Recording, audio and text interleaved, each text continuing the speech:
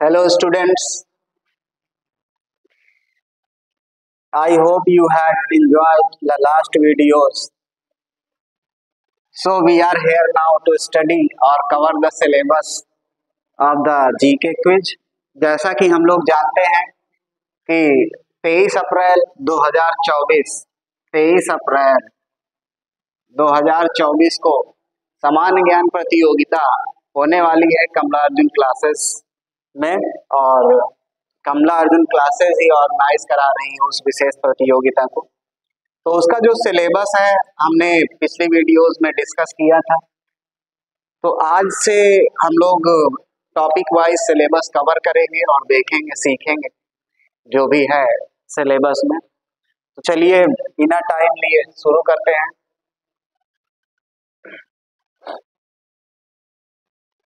अब आज हम लोग बात करने जा रहे हैं तो सिलेबस का सबसे पहला टॉपिक था हिस्ट्री इंडियन हिस्ट्री सबसे पहले बात करेंगे हिस्ट्री हिस्ट्री इतिहास.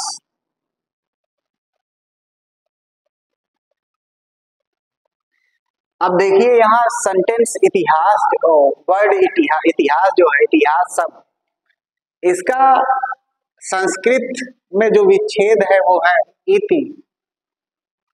धन। हा।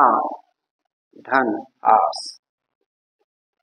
इट मीन्स जैसा है, बिल्कुल वैसा। रियल में वास्तविक।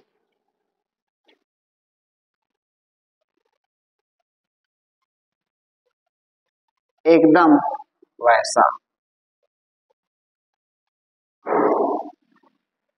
मीन्स जैसा पहले था पास्ट में, एकदम बिना चेंज के रियल में, पुरानी चीज़ जो जैसी है, उसको फ्यूचर के टाइम में पहुंचाना, जो प्रेजेंट टाइम अभी भी है, हम, हमारे पास सोर्स अवेलेबल है।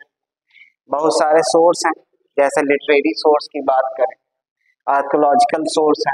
इन सब चीज़ों से हम हिस्ट्री का अध्ययन कर सकते हैं और उसमें हमें पुरानी चीज़ें जैसी की तैसी होती वैसे ही मिलती तो अब बात करेंगे father of history father of history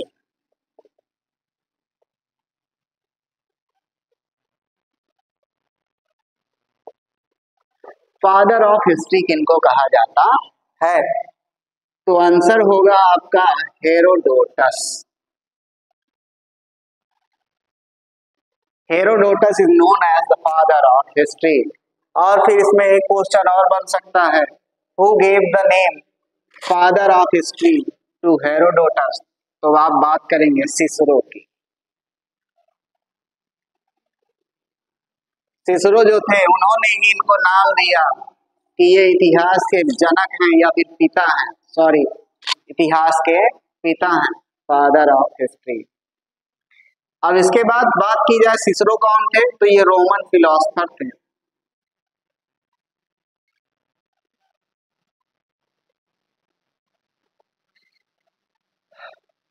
अब बात करेंगे इतिहास हम पढ़ रहे हैं तो इतिहास के टाइप्स पढ़ेंगे, फिर उसके बाद इंडियन हिस्ट्री पर आएँगे।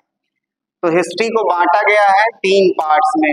मेजर थ्री पार्ट्स में history is divided history is divided into three parts one is prehistory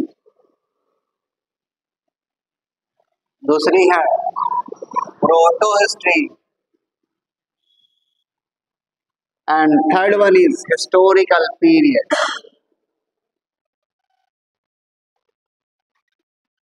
अब यहाँ हम देखेंगे कि प्री हिस्ट्री प्री हिस्ट्री में जो भी लिपियाँ हमें मिली हैं, वो अभी तक अननोन है। उसके बाद बात की जाए, जैसे स्टोन एज की बात करें, पाषाण काल तो वो इसी एज में, इसी हिस्ट्री के अंतर्गत हम पढ़ते हैं। अब फिर उसके बाद प्रोटो हिस्ट्री की बात करें तो जो भी हमारे सिंधु सिविलाइजेशन उसके बारे में बात करते हैं प्रोटो हिस्ट्री के अंदर। फिर उसके बाद हिस्टोरिकल पीरियड में इसके साक्ष्य जो हैं हमें हमारे पास आ, हर तरह से उपलब्ध हैं जो लिखित में भी उपलब्ध हैं और मॉन्यूमेंट्स जो भी हैं हमारे आर्कोलॉजिकल सोर्स उनके माध्यम से भी हम हिस्ट्रिकल पीरियड को पढ़ सकते हैं। तो historical period is also divided into three, three types. अब first type is ancient period or history. दूसरा medieval and third one is modern. Ancient medieval and modern तीन टाइप्स में या फिर तीन फॉर्म्स में हिस्टोरिकल पीरियड को डिवाइड किया गया है। अब एंशियंट पीरियड जो है हमारा, हमें ये कवर करना है और मेडिवल हिस्ट्री जो है, इसे कवर करना है। तो हम मेडिवल हिस्ट्री शुरू करते हैं। देखते हैं कि इसमें कौन से टॉपिक मेन हैं जो हमें कवर करनी है। उसी पर फोकस करेंगे, फिर उसके बाद बात आगे करेंगे। तो देखिए, मेडिवल हिस्ट्री की बात की जाए तो मेडिवल हिस्ट्री दो पार्ट्स में डिवाइड है, जो पीरियड है इसका। तो first period early medieval period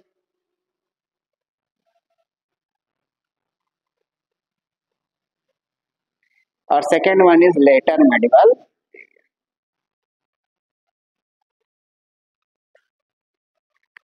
later medieval period and early medieval period early medieval period according to B D Mahajan B D Mahajan के अनुसार 711 से शुरू होता है। 711 से शुरू होकर के ये एक्सपेंड हुआ है। ये 1200 तक जाता है। और फिर उसके बाद ये 1200 ईस्वी से लेकर के 1707 ईस्वी तक हमारा लेटर मेडिवल पीरियड एक्सपेंड होता है। तो अब हमें अर्ली मेडिवल पीरियड पढ़ना है। तो अर्ली मेडिकल पीरियड में हम क्या क्या टॉपिक कवर करने वाले हैं, जो भी इम्पोर्टेंट टॉपिक है, उस पर बात करेंगे, चर्चा करेंगे। तो जो भी चीज़ें अभी हमने पढ़ी, आप इसकी नोट्स बनाते चलिए क्या पता क्वेश्चन यहीं से आए।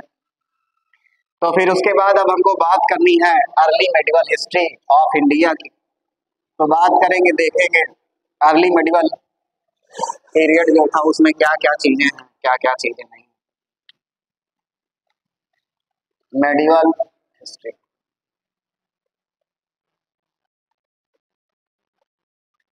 जो 711 से लेकर 1707 तक। अब सबसे पहले इसमें हम बात करेंगे कि किस प्रकार से 711 में जो जो मेजर चेंजेस आए इंडिया में, उनकी बात करेंगे और फिर उसके बाद बात करेंगे कि कौन कौन से चेंजेस हुए, संस्कृति में कौन कौन से चेंजेस हुए कल्चरल कल्चर में कौन कौन से चेंजेस हुए, और जो भी लैंड रिफॉर्म्स थे, उनमें क्या क्या बदलाव आए, जो भी सिस्टम थे। उन सब में क्या क्या चीज़ें बदलाव आई, इन सब चीज़ों पर देखेंगे, ध्यान देंगे। तो सबसे पहले बात की जाए 711 में क्या हुआ? तो सबसे पहला टॉपिक जो हमारे लिस्ट में है, वो है भारत पर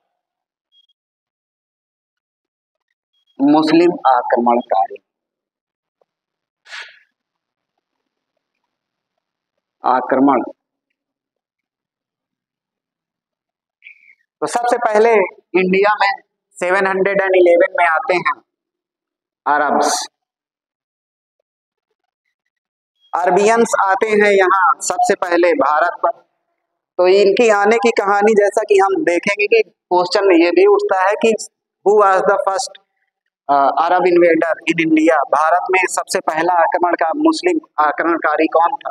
तो नाम आता है मोहम्मद बिन कासिम का। मोहम्मद बिन कासिम।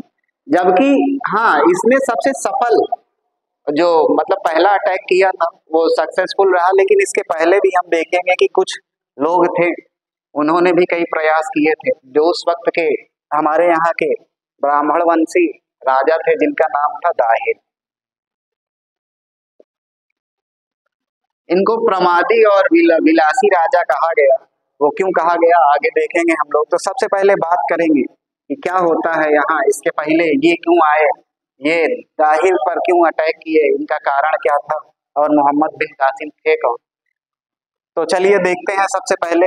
तो उबैदुल्ला की बात करूँगा मैं।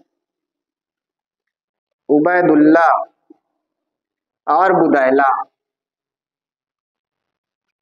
इन्होंने मकरान, जो कि बलूचिस्तान के नाम से भी जाना जाता था, वहाँ दो बार अटैक किए two times Ubaidullah and Budail attack two times on Balochistan but they got no success Dahir उनको क्या करता है?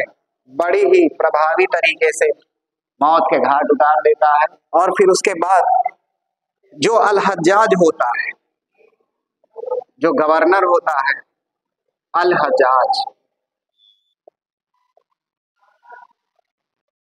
जो इनके जिसी के संरक्षण में ये दोनों जाते हैं अटैक करते हैं दाहिर के ऊपर, सिंध का जो वर्तमान राजा होता है। लेकिन उसमें अनसक्सेसफुल होते हैं, मार दिए जाते हैं। फिर उसके बाद अल हज्जाज अल हज्जाज का चचेरा भाई चचेरा भाई चचेरा भाई, या फिर कहिए दामाद। चचेरा भाई और दामाद। होता है कौन? मोहम्मद बिन कासिम। अब अपने ससुर जी का आर्डर पा करके उसके नेतृत्व में अब अल हज्जाज क्या करता है? इनकी इन दोनों की मौत के बाद ये डिसीज़न लेता है खलीफा से मिल करके जो इराक का खलीफा होता है उस वक्त का बगदाद का खलीफा जो था बगदाद के खलीफा से ये ऑर्डर लेता है कि सिंध जो है बहुत ही संपन्न है और अगर सिंध को हम लोग लूटेंगे तो हम हम्म, सिंध पर अपने इस्लाम धर्म का प्रचार करेंगे और साथ ही साथ वहाँ से लूट का धन ला करके हम अपने आ, अरब को और शक्तिशाली और मज़बूत बना सकते हैं। अब खलीफा उनको सहमति दे देते हैं कि हाँ चलिए ठीक है। तो मोहम्मद बिन कासिम के नेतृत्व में पच्चीस हज़ार सेनाएँ कूच करती हैं। पच्चीस हज़ार सेनाएँ कूच करती हैं देवल की ओर। पच्चीस हज़ार सेनाएँ देवल की ओर कूच करती हैं। अब यहाँ देखिए दाहिर अभी भी इस बात को हल्के में ले रहा। था उसको थोड़ा सा भी इंटरेस्ट नहीं था मोहम्मद बिन कासिम में। वो उबैदुल्ला और बुदैला के ही चक्कर में था मोहम्मद बिन कासिम, जबकि वो पूरी तैयारी के साथ भारत पर आक्रमण करके उस पर कब्जा करने के लिए आया और वहाँ इस्लाम धर्म का प्रचार करने के लिए और वहाँ से धन संपत्ति लूटने का पूरा एकदम एकदम स्ट्रांग तरीके से तैयार होकर के वो पच्चीस हज़ार की टुकड़ी लेकर के चलता है। और फिर उसके बाद 1712 में वो दाहिल पर अटैक करता है और वहाँ जा करके दाहिल हार जाता है। इसको हरा दिया जाता है मोहम्मद बिन कासिम के द्वारा। अब देवल की विजय के बाद यहाँ मोहम्मद बिन कासिम पहली बार में ही भारत पर मतलब सिंध पर सक्सेसफुली यहाँ अटैक करता है और उसके बाद यहाँ आकर के अपना राज्य कब्जे में लेता है सिंध को। अब देखिए मकरान और बलूचिस्तान जो दो चीज़ें थी, ये दिन पर तो ये पहले ही काबिज हो चुके थे। उसके बाद जो बोलन का दर्रा था, बोलन दर्रे का मेन रोल यहाँ है कि यहीं पास से ही सारी कहानी शुरू होती है। तो बोलन के दर्रे से इन लोगों की एंट्री कैसे हुई और देवल की विजय के बारे में, देवल की विजय। देवल की विजय, इस पर हम लोग कल चर्चा करेंगे और देखेंगे, आज देखेंगे कि मोहम्मद बिन कासिम ने क्या क्या चीज़ें यहाँ चेंजेस की क्या क्या चीज़ें लाई इस पर थोड़ी चर्चा कर लेते हैं उसके बाद। आज के लिए बस इतना ही रखते हैं। तो मोहम्मद बिन कासिम के बारे में बात की जाए तो मोहम्मद बिन कासिम पहला वो शासक था कह लीजिए जिसने जजिया कर